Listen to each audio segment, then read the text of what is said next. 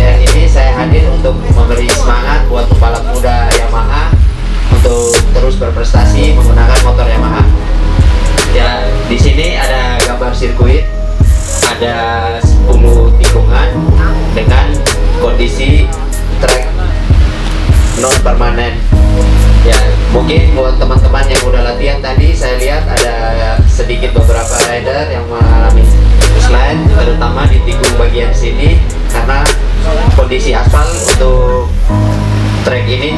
ya. Tapi saya akan sedikit memberikan tips biar bisa bisa tidak sliding. Ya untuk kondisi trek ini saya lihat dari R1 tuh ada kondisi sirkuitnya agak lebar ya. Agak lebar sesudah R1 menyempit.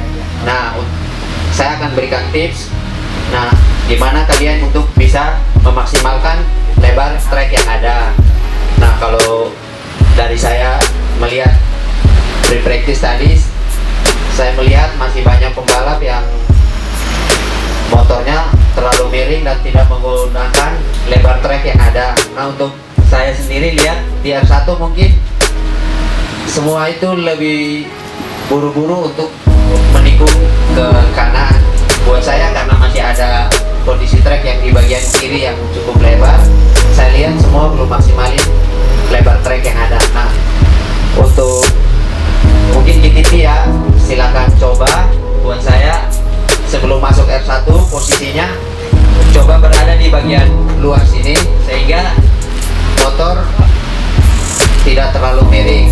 Kalau terlalu miring akhirnya menyebabkan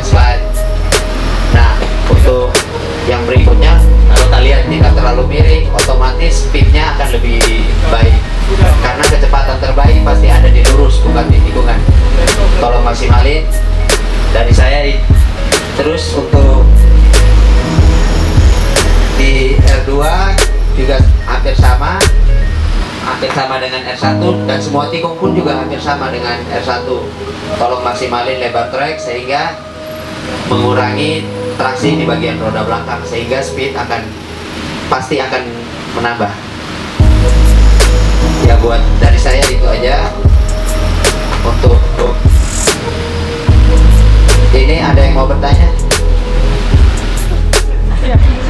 Ini R sini ya? Nah ini saya akan agak sedikit jelasin kenapa kamu bilang susah. Kamu pasti karena di sini saya lihat sirkuitnya sanggup menyambung.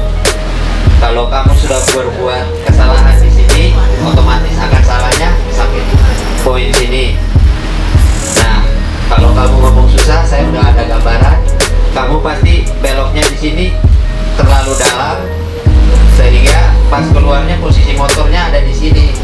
Akhirnya pas sampai di titik ini kamu terlalu banyak miring akhirnya speednya tidak tidak maksimal.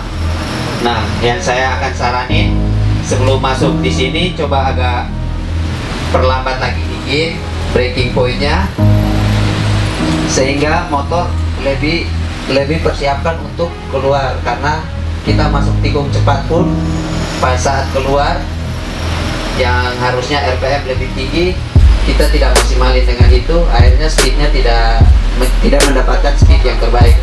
Nah kalau buat saya kamu coba agak out di posisi sini. Nah di bagian sini kamu dalam.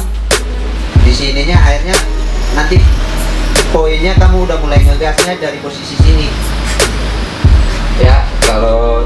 tadi saya lihat ngegasnya pasti ada di poin di sini karena kamu lebih banyak lebih kontrol motor karena posisi motornya terlalu miring. Dan yang paling penting kalau kalian bisa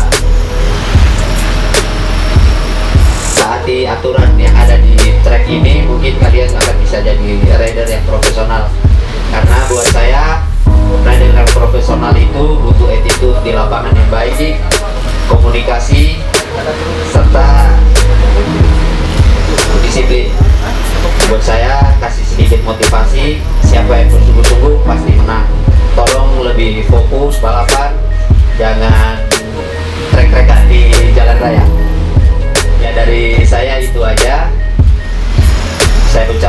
terima kasih buat teman-teman. Ya mungkin kalau malu bertanya di sini ketemu saya di track atau apa mau tanya silakan. Saya sebisa saya untuk menjawab pasti saya bantu kalian. Jangan malu-malu. Terima kasih.